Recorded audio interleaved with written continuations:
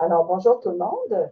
Ça me fait plaisir de vous parler aujourd'hui. Alors, moi, je suis Christine Wood, je suis doctorate, je suis cardiologue pédiatre au CHUL ici à Québec, au Centre Mère-Enfant, depuis bientôt 13, 30 euh, ans. Et je suis impliquée euh, auprès de la Fondation depuis à peu près mon arrivée à Québec.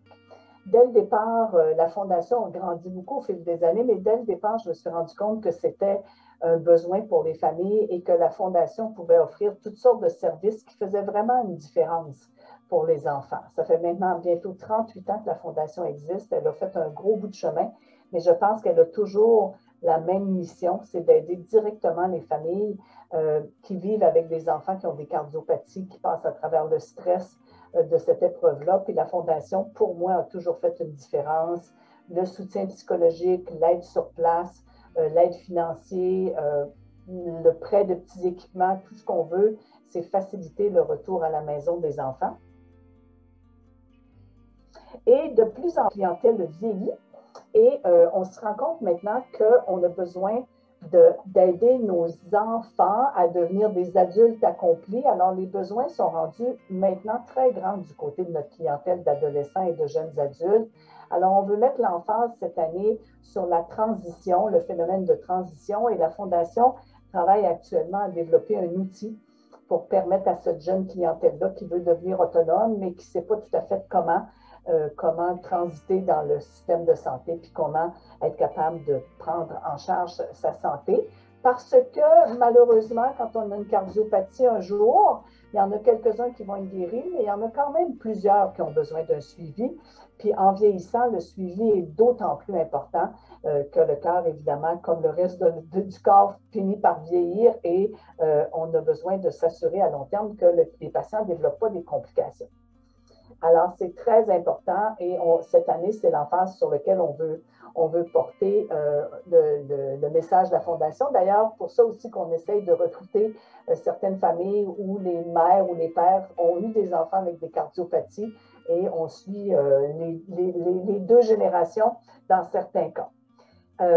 alors, c'est extrêmement important de participer au courir 6 heures en. Moi, je m'implique depuis plusieurs années. Je trouve que c'est une activité qui est extrêmement intéressante parce que d'abord, ça, on fait un peu la promotion de l'activité physique. On fait aussi la preuve que même si on est venu au monde avec une cardiopathie congénitale, on est capable de faire de l'exercice parce que plusieurs de nos familles arrivent avec les enfants, des plus petits aux plus vieux. Et euh, c'est une belle démonstration que l'activité physique permet de rester en santé. Et le fameux 6 heures, ben, c'est parce que la plupart d'entre eux ont eu à un moment donné dans leur vie à passer à travers l'épreuve d'une chirurgie cardiaque qui dure en moyenne chez les jeunes enfants 6 heures. Alors là, on fait vraiment réaliser à tous nos participants qu'est-ce que c'est qu'un stress physique ou une activité physique ou une épreuve physique qui dure jusqu'à 6 heures, c'est quand même exigeant.